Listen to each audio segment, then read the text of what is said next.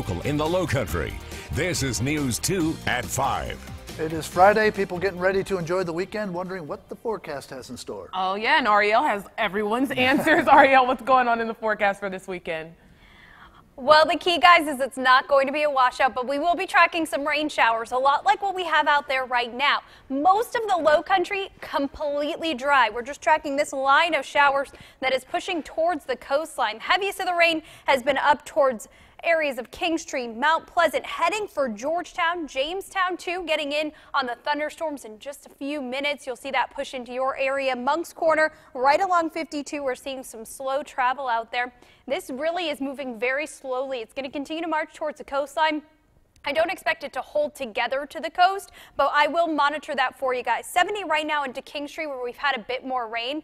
80 right now into downtown Charleston where we actually haven't seen a lot of rain so far today.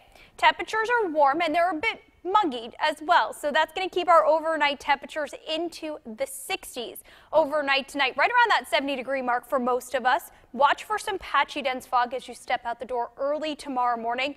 Any showers and thunderstorms tonight will slowly start to fall apart, but we will see them redevelop tomorrow afternoon and into your day on Sunday.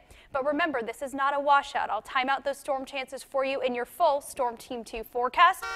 Let's go ahead and check out Count on 2 traffic right now.